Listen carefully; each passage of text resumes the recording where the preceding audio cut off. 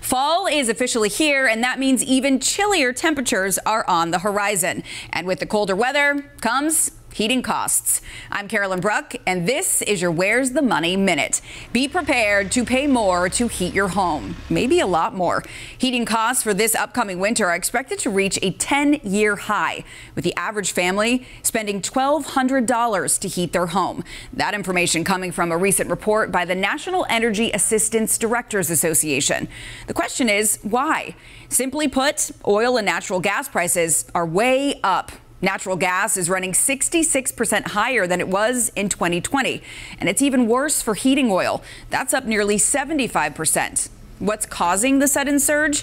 Energy experts say the problem is multi layered. First, we've got a supply issue. Electric companies used a lot of the nation's natural gas supplies, keeping people cool during a very hot summer.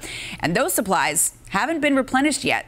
Then there's the Russian invasion of Ukraine, which has had major impacts on the global energy market. No matter how we got here, this is where we are. But the good news is there are programs that can help.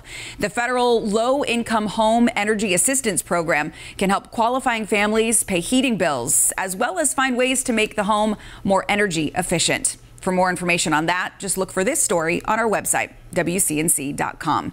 With your Where's the Money Minute, I'm Carolyn Bruck.